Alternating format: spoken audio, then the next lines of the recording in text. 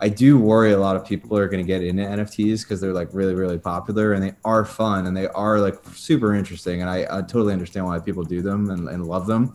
But it also is like really dangerous. Like if you are approaching them from like a I need to make money perspective with money that you can't like afford to lose, like you can definitely get wrecked because they can be manipulated super easily. Inside information is super, super critical.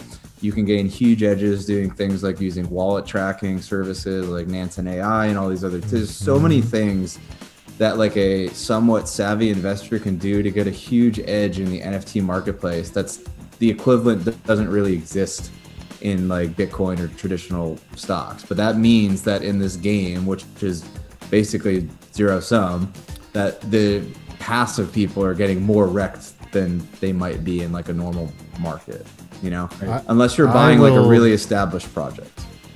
I, I will sign that alfalfa PSA. Yeah, hmm. I think that's a really important one.